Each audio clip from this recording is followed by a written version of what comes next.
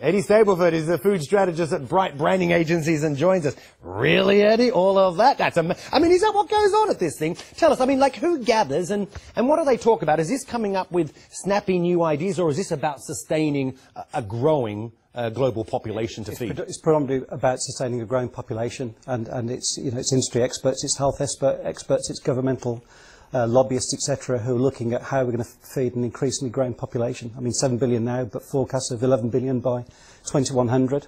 You know, that's a massive, massive increase. Um, and of course, we've got climate change, which is impacting on our ability to, to grow crops, um, maximising the yield.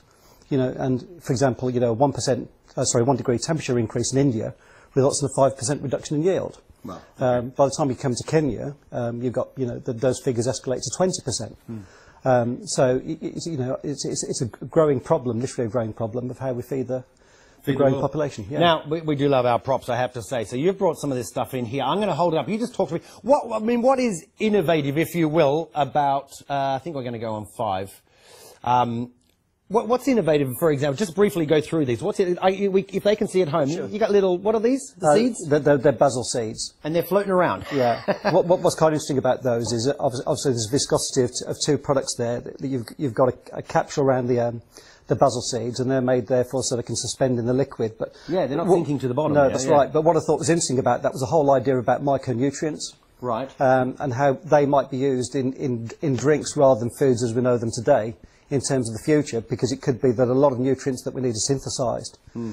f- from ingredients and presented as to, in ways that are novel and different, just to make them interesting. And you know, and there's an example. So, rather than space age, you, you know, food paste. Or, Yeah, well, or- exactly. or, or whatever it might be, you, know, which I, I guess was the, was the Buck Rogers and all the rest of it that we've seen in years gone by. It's something much more innovative and much more clever that does deliver taste experiences which are really important in our enjoyment of food. What about this one? Because to me it looks like, you know, it's like, um, we've got these, you, you, it's uh, a noodle pop, but this is tea, right? Pop. Yeah, it's, it's, it's, it's bubble tea. And what's interesting about that, you've got three components in there. You, you've, you've got the powder that makes the base liquid. You've got these, these pearls which are encapsulated with, with um, There's the pearls, yep. yeah, uh, no, those are the pearls. Oh, there. sorry, they're the Pearls. Yeah, yeah. They're, they're encapsulated with, with, a, with, a- with a plant gelatin, and then you've got the straw that enables you to suck the, the pearls out of the liquid.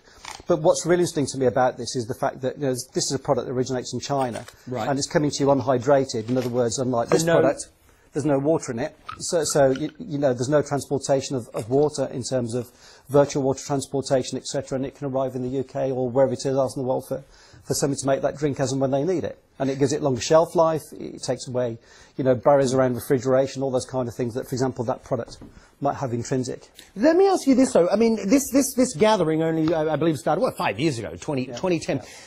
There's actually, you know, does food stuff come out of that? Like the ideas. I mean, do we have anything on our supermarket shelves that's come from, you know, ideas raised at this this gathering? Yeah, I, I absolutely. I think if you look at mycoprotein that are made from mushrooms, there, there, there are products on the market now which are called, you know, uh, meat-free proteins, Hmm. um, and, and those brands are, and products are readily available. They, they appeal to vegetarians, but also appeal to individuals who want to reduce their, their consumption of meat, which is something generally in the West we're starting to see, which is really good news.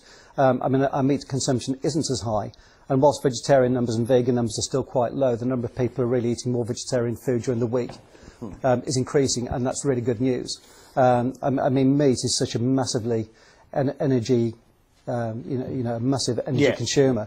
I mean, one kilo of beef, um, you know, you know go. requires 15 kilos of, of energy. Wow. Okay, I've got to go. Although you are talking to an Australian who loves his meat, you know that, don't you? Hey, thanks, Eddie.